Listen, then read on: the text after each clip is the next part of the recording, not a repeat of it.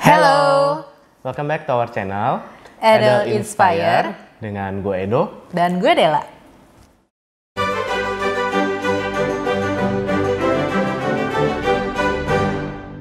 Nah di video kali kita mau ngomongin apa Del? Sesuai request dari teman-teman, banyak yang pengen tahu berapa sih biayanya untuk memelihara anjing. Maka dari itu, aku dan Edo memutuskan di video kali ini kita membahas pengeluaran yang diperlukan untuk memelihara anjing. Yuk kita mulai aja. Oke, gue mulai dulu ya. Udah pasti kita butuh yang namanya supply makanannya mereka. Kalau gue hitungannya per gram atau per kilo, jadi gue lebih gampang juga ngatur pengeluaran dan pada saat pemberian makannya mereka sehari-hari. Kalau Excel itu beratnya 36 kilo. Itu sebenarnya keberatan, overweight, jadi dokter tuh menyarankan untuk diturunkan sampai berat idealnya dia itu 30 kilo. Kalau 30 kilo perhitungannya seharinya dia itu harus 5% dari berat badannya, yaitu 600 gram. Karena Excel kegemukan, jadi dikurangin porsinya, jadi cuma 300 gram sehari, yang itu aja tuh susah banget turunnya. Which means kalau sehari 300 gram, sebulan itu sekitar kurang lebih 9-10 kilo. Nah, biaya makannya Excel 1 kilonya itu 140 ribu. Jadi sebulan kurang lebih 1.400.000 untuk Excel. Nah, kalau Oscar itu 18 kilo, seharinya itu gue kasih dia sekitar 200 gram. Jadi sebulan itu kurang lebih 6 kilo. Per kilonya makanannya Oscar itu 80.000, jadi sebulan 480.000. Nah, gue juga ada nambahin juga bone broth atau kaldu tulang. Itu kurang lebih 200.000 sebulan. Jadi gue kasih campur di mealsnya mereka. Jadi totalnya itu 2.080.000 untuk biaya makannya mereka. Kalau lu, Dok? Kalau gue jujur gue nggak ngitungin banget Del, jadi kayak kalau gue tuh pokoknya penting adalah gue kasih makan. Kalau misalnya udah kayaknya udah cukup banyak ya udah gue stop. Gue nggak takar sama sekali. Jadi pakai kira-kira pakai feeling gitu ya.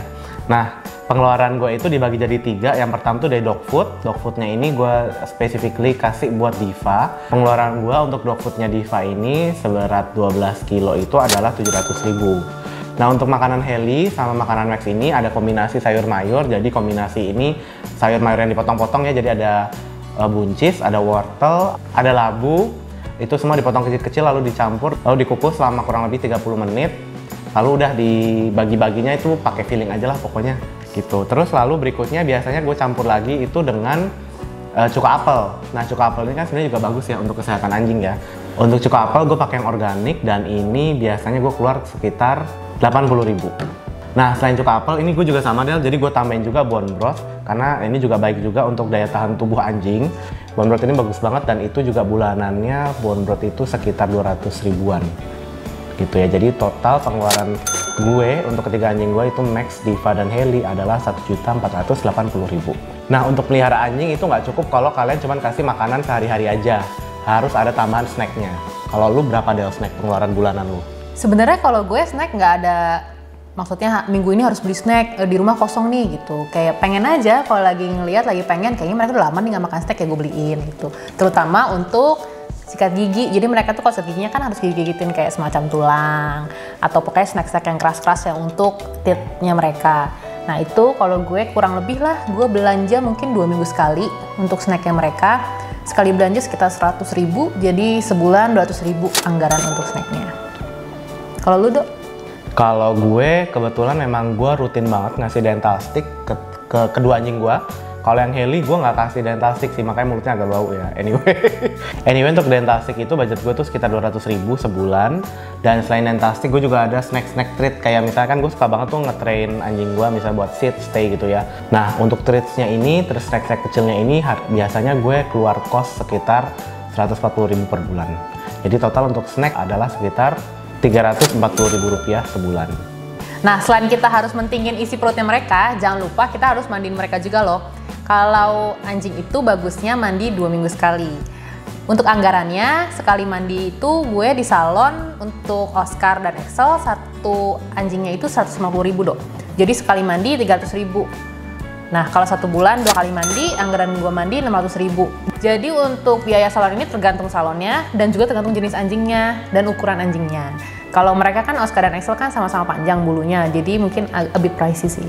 Kalau gue, karena anjing gue ukurannya semua ukuran tuh gue punya ya, jadi dari Baik. small, medium, large gue punya semua kan. Nah ini karena ukurannya berbeda, otomatis biaya groomingnya juga beda-beda tiap anjing. Cuman sekali grooming itu pokoknya cost gue sekitar 500 ribuan lah. Nah gue juga mandiin sebulan tuh paling dua kali, jadi dua minggu sekali gue mandiin. Berarti cost gue sebulan untuk grooming itu sekitar 1 juta. Nah itu tadi semua adalah pengeluaran bulanan ya. Berarti kalau Del habisnya berapa per bulan? Jadi setelah ditotal nih sebulan yang udah pasti banget nih gue harus keluar adalah Rp2.880.000 rupiah. Kalau gue sebulannya dua juta ribu rupiah. Nah itu tadi pengeluaran bukan fix ya, jadi ketika kalian melihara anjing pasti akan segitu ya enggak. Pengeluaran itu tergantung jadi dari jenis anjingnya, jenis makanan yang kalian berikan, treatment apa yang kalian berikan. Jadi itu tidak pakem ya, itu bervariasi. Cuman kita memberikan kurang lebihnya yang kita keluarkan segitu. Nah selain biaya bulanan, kita juga punya biaya-biaya lain, biaya tambahan lain di luar yang pasti itu, seperti biaya per tiga bulan atau biaya tahunan. Nah itu apa aja ya dok? Kalau gue sendiri, pengeluaran lain-lain gue itu ada obat kutu. Obat kutu ini biasanya sekali pakai untuk tiga bulan ya. Nah itu gue keluar kos sekitar 460 ribu something. Lalu gue juga harus sedia obat cacing. Obat cacing itu juga per tiga bulan atau bisa lebih cepat tergantung dari aktivitas anjing kalian sering di dalam rumah atau di luar. Nah gue sekali ngasih itu 5 butir dan gue bisa langsung stok agak banyakan. Jadi gue bilang biasa langsung beli sekitar 15 butir atau 30 butir. Nah, kalau gue beli 30 butir itu habisnya sekitar 750 ribu, tapi ini bisa dipakai beberapa kali dan agak lama. Selain obat kutu dan obat cacing, gue juga harus sedia juga obat first aid kit gitu ya, in case darurat. Nah, itu gue harus uh, spend biaya sekitar 200 ribu, tapi kembali lagi ini nggak per bulan ya. Tuh. Nah, kalau lu sendiri gimana Del? kurang lebih sama. Obat kutunya mereka itu yang minum 200.000 ribu satu butirnya karena mereka ukurannya large. Sekali minum 400.000 ribu. Nah tapi obat kutu yang ini sekali minum itu 3 sampai 4 bulan tuh bersih. Nah selain obat kutu ada juga obat cacing. Untuk obat cacing itu minumnya mereka 3 bulan sekali. Sekali minum itu 6 butir karena Oscar itu 18 kilo. 18 kilo berarti butuh 2 butir. Sisa 4 butir itu Excel karena Excel itu 36 kilo. Jadi butuhnya 4 butir. Nah, satu butirnya 25.000. Jadi sekali minum 150.000 lah untuk 3 bulan. Lalu ada juga first aid kit. First aid kitnya ini yang sudah dibahas di video-video sebelumnya. Kurang lebih gua anggarin 200.000.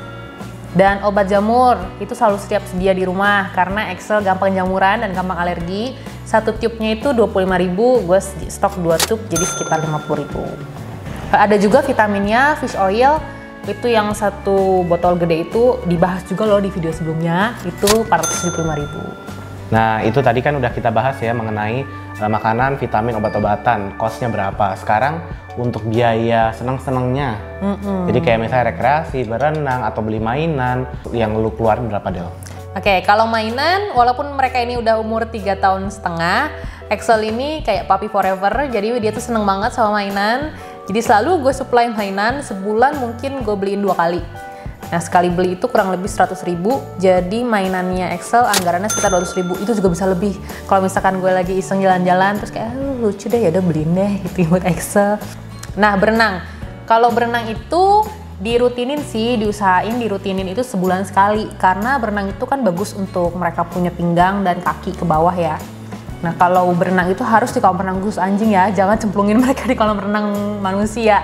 Nah kalau gue biayanya itu sekali berenang satu ekor anjing itu 200 ribu, udah include berenang dan mandinya dan groomingnya. Oh, oke. Jadi untuk dua anjing gue keluar 400 ribu. Nah kalau untuk rekreasi itu gue nggak ada jadwalnya sih, kayak setahun harus berapa kali jalan-jalan itu enggak. Cuman kalau misalnya gue lagi pengen aja, mereka itu kan energi tinggi, jadi demen tuh ke kegiatan di luar ruangan, outdoor gitu. Jadi mereka main tuh berenang di pantai. Nah yang kayak gitu-gitu kan biayanya sebenarnya tidak bisa diukur karena belum tentu juga gue pengeluarannya segitu. Paling biayanya biaya apa sih? Biaya bensin sama biaya masuk rumah wisata kan gitu. Nah kayak gitu mungkin nggak bisa diukur ya. Cuman itu contoh rekreasi yang gue lakukan. Kalau lu dok?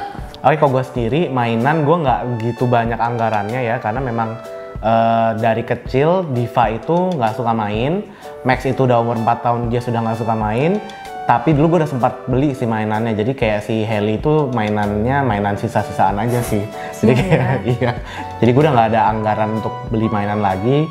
Di tahun kedua gue pelihara anjing-anjing gue, Nah untuk berenang, karena gue juga sama adalah satu komunitas anjing, kita sering ada acara berenang bareng gitu ya, anjingnya bukan orangnya.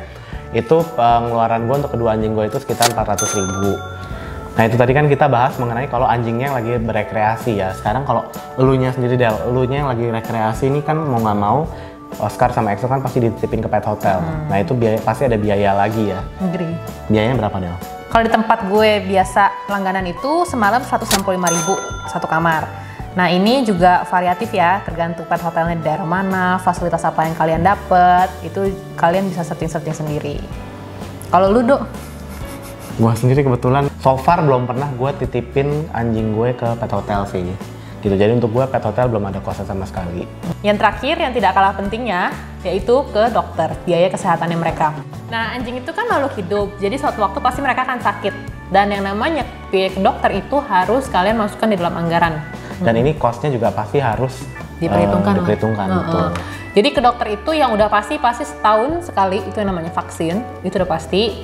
Kalau anjing kalian masih papi, vaksinnya juga harus tiga kali dalam tiga bulan. Sekali vaksin itu kurang lebih 200 ribu. Nah kalau untuk emergency itu juga tergantung vetnya masing-masing. Eh, sekali kontrol berapa, biaya obatnya berapa.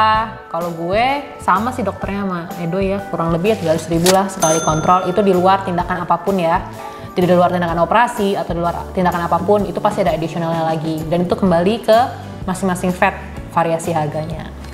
Nah itu tadi semua adalah kurang lebih gambaran. Ini kurang lebih aja jadi bervariasi berbeda antara Dela dengan gua dengan kalian yang nonton di rumah.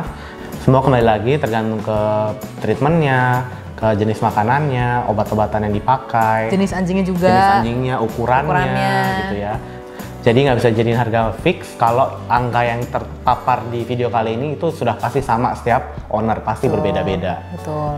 Nah kalau kalian memutuskan untuk melihara anjing jangan sampai faktor ini disepelekan ya. Karena kalau misalkan suatu waktu ada darurat atau butuh sesuatu kan bahaya kalau misalkan tidak ada yang mengcovernya. Tuh jadi sebelum memelihara tolong diperhitungkan baik-baik. Nah, kalau kalian udah memelihara anjing, sharing-sharing dong di bawah, di komen di bawah. Kalian ngeluarin berapa sih untuk memelihara anjing kalian? sekian video hari ini semoga berguna ya gue Edo Gue Dela. sampai jumpa di video berikutnya Salam wuf wufu. wuf. Bye. Tenenet. Gue kok baru sadar gue gini-gini sih. Gara-gara kabelnya tuh, jadi gue gue ngerasa kayak gue udah masuk belum sih. Pengeluaran yang diperlukan untuk memelihara seekor anjing. Oh, lu nggak nanya gue deh teganya. Kan udah tahu ya Oh, mesti iya. otomatis ya, say. Harusnya sih ngomong sih. Bukan boneka. Jadi butuh juga yang namanya asupan dari dokter ya, karena suatu waktu mereka bisa sakit kenapa asupan?